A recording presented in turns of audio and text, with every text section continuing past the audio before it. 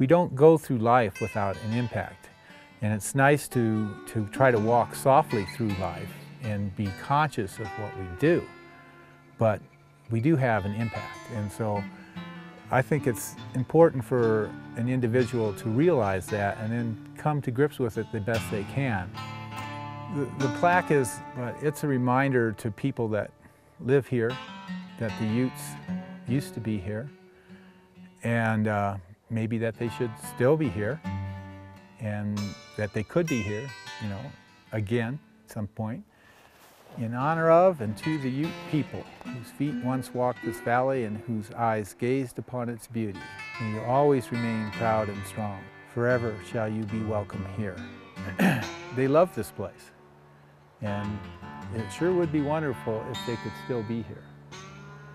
And it was interesting, you know, we had, had the rock here and we didn't have the plaque in place yet, but we had a little dedicating ceremony. And this one uh, elder, he was speaking. And uh, so we're kind of all around this area and he's standing out here and he's talking to us. And he said something that I remember this day. And he turns and he points this way, up over this mountain here, to the north. This is the direction that Telluride's in. And he pointed up here and he says, they are right over there. And they want what you have. I wish you better luck than we had.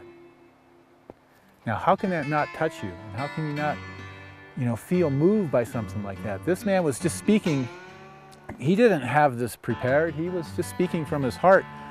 And when he said something like that, I wish you better luck than we had, that's pretty moving, don't you think? Pretty telling statement. Do you think they don't have a connection to this area still? Well, they do. And I hope we remember that.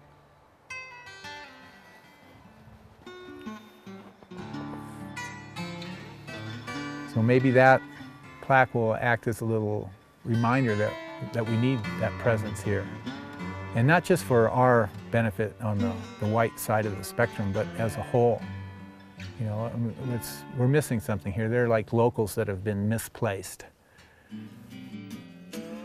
I don't know if anybody's ever come to Ophir from way far away and just said, well, I'm going to Ophir, Colorado and move there. Most people come from the area and they're looking for a place.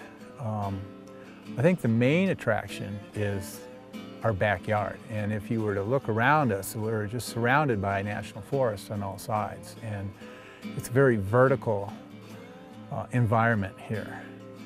And so people that love the outdoors, whether it's hiking, climbing, skiing, snowboarding, fishing, hunting, you know, I mean, this is a, just a wonderful place for anybody like that. Whoa, look at that new satellite dish.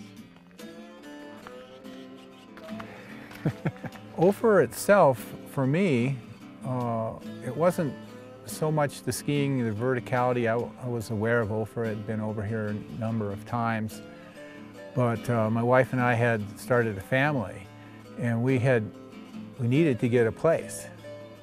Of course, as soon as we got over here and started spending time and uh, building, it was immediately, you know, as soon as you spend a day here and see the light change from morning to evening, it's, you know, a love affair.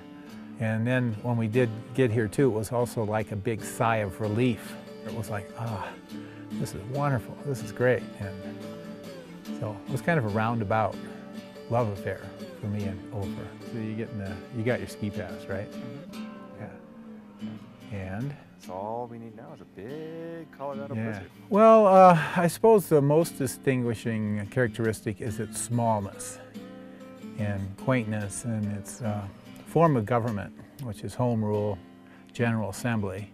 So anyone that goes to a meeting that's registered to vote, a resident, has equal say. So uh, an issue will come up, whether it has something to do with dogs or uh, land reclamation or, you know, street parking regulate, anything. Um, everybody gets to vote on it.